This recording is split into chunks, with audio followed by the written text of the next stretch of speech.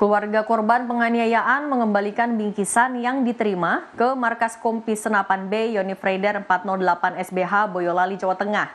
Keluarga korban mengaku tidak mau menerima apa pun dari pihak TNI dan hanya menuntut kasus penganiayaan ini diselesaikan secara hukum hingga tuntas.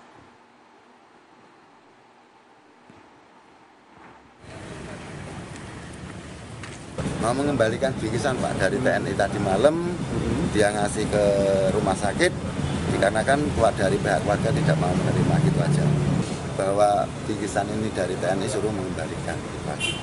memang keluarga tidak mau menerima bingkisan dan apa pun dari TNI